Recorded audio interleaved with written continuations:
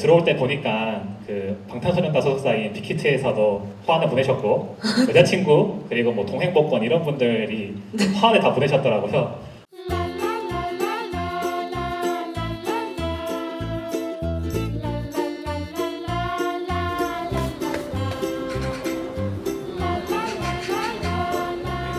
오늘 그 동행복권도 그렇고 다른 그 광고주 분들께서 제가 광고를 지금 그래도 스물 몇 개를 하고 있어요. 그래서 그 광고주 분들께서 축하해 주시는 의미로 보내주셨고 빅히트 엔터테인먼트랑 또 여- 여자친구 그 응. 대표님 같은 경우에는 저희 대표님이랑 굉장히 간편한 아, 사이셔서 네네. 그렇게 보내주셨는데 아, 정말 화한 너무 감사드립니다. 네. 그분 그 많은 또 우리 분들께서 또 축하를 해주시니까 음. 제가 또 그 힘을 얻어서. 또 열심히 활동할 수 있을 것 같아요. 네. 감사합니다. 다들 어. 제가 정규를 처음 내는 거에 대해서 굉장히 의아해 하시더라고요. 어. 근데 진짜 그러니까 10년 만에. 첫 정규 앨범인 거예요? 네네네 맞습니다. 어 뭔가 어, 여지껏 디지털 싱글 앨범이나 아니면은 그냥 미니 앨범으로 이렇게 내서 어.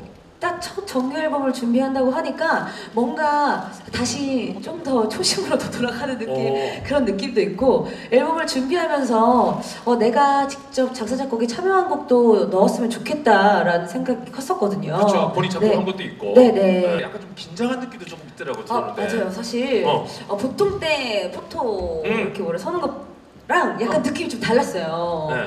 뭔가 그 정규